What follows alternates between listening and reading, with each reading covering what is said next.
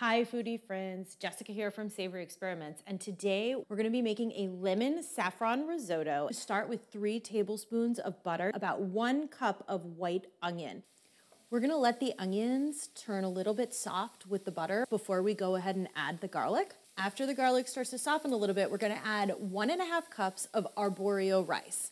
Our grains are nicely brown. We are going to incorporate liquids in stages the first one being the saffron and the wine. Let all of it soak in, and when it starts to dry out a little bit, we'll start adding that vegetable broth, which I have on another burner, staying warm.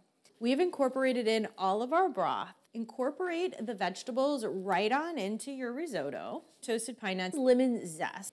Next, we're gonna add our lemon juice, but we're gonna char the lemon. Just be careful not to burn yourself. You are ready to go. From my kitchen to yours, have a great day.